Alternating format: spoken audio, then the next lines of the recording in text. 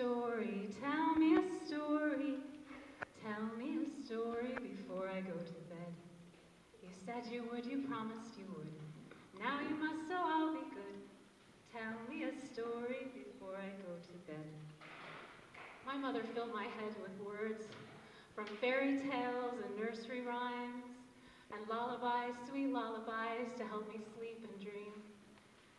Two poor little babes whose names I don't know were stolen away one bright summer's day and lost in the woods, so some people say.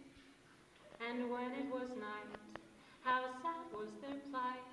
The sun had gone down, the moon gave no light, and the poor little babes, they lay down and died.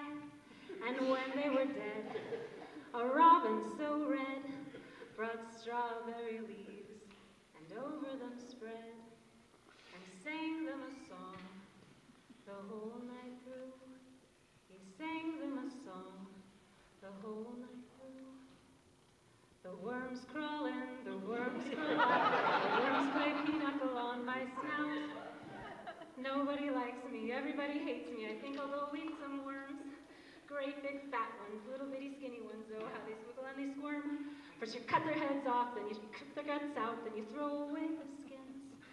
Nobody likes me, everybody hates me. I think I'll go eat some worms. I do not like thee, Dr. Fell.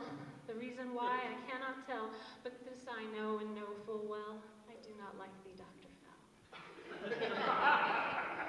once were three men from Gotham who went to sea in a bowl.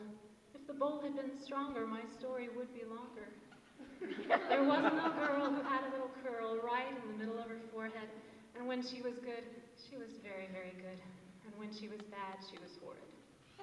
Little Polly Flinders sits among the cinders, warming her pretty little toes. Her mother came and caught her and spanked her little daughter for ruining her nice new clothes. Bobby Shafto's gone to sea. Silver buckles at his knee. He'll come back and marry me, pretty Bobby Shafto. Bobby Shafto's fine and fair, combing down his long blonde hair. There's none else that can compare to pretty Bobby Shafto.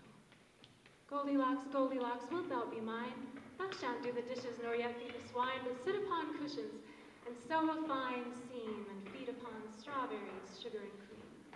Peter, Peter, pumpkin eater, had a wife and couldn't keep her. He put her in a pumpkin shell, and there he kept her very well. There was an old woman who lived in a shoe. She had so many children, she didn't know what to do. So she gave them some broth without any bread and spanked them all soundly and sent them to bed. There was an old woman who swallowed a fly. I don't know why she swallowed that fly. Perhaps she'll die. There was an old woman who swallowed a spider.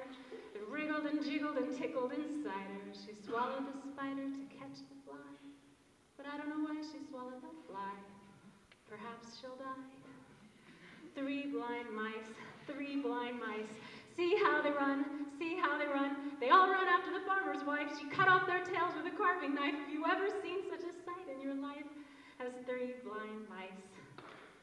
Cross patch, draw the latch, sit by the fire and spin. Take a cup and drink it up and call your neighbors in. You said you would, you promised you would. Now you must, so I'll be good. Tell me a story before we go